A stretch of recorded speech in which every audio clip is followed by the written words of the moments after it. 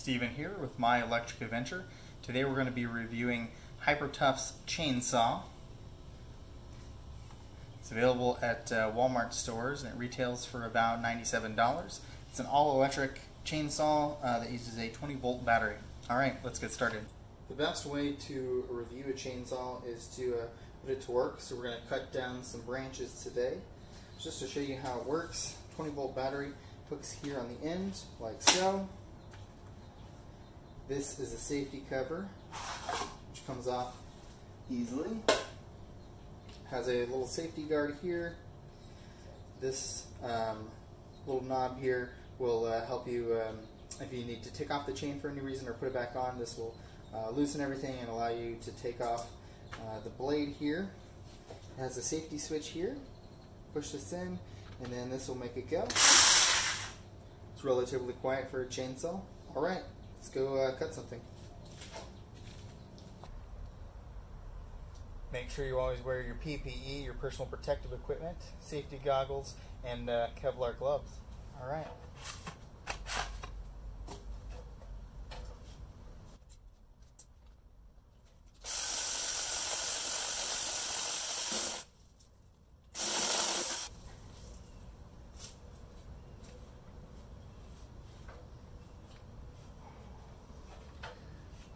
First impressions, this thing is awesome.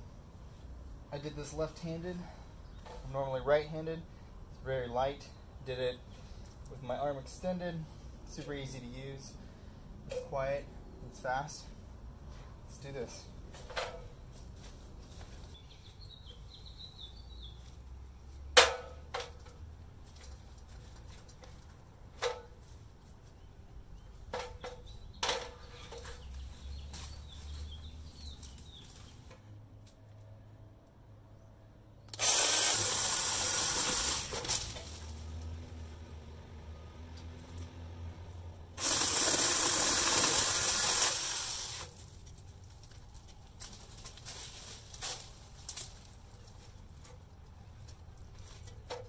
Alright, so filming up into the light of the sky doesn't make for the best shots, so I figured I'd uh, show you uh, how it works on the ground.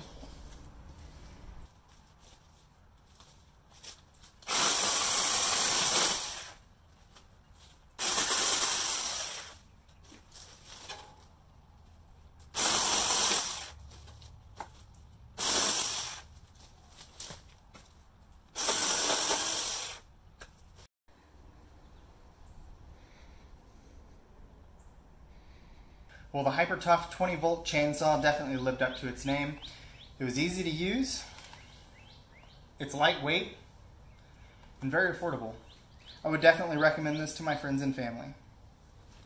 If you guys enjoyed this video, please hit the like button and I invite you to check out some of my other videos on my channel. If you like those as well, I invite you to subscribe. Thank you very much for joining me. I look forward to catching you guys next time. Take care. Bye.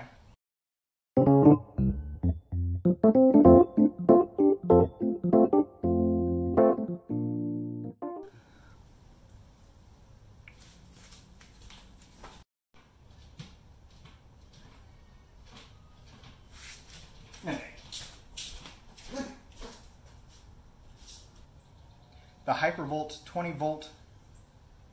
The only point deduction is uh, I have had issues with this chain. There is a bee in here ruining my video.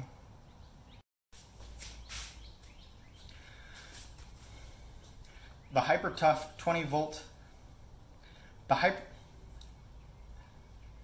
Well, the Hyper. Well, the HyperTough 20 volt chainsaw definitely came in handy today, and I don't know what I'm saying or doing.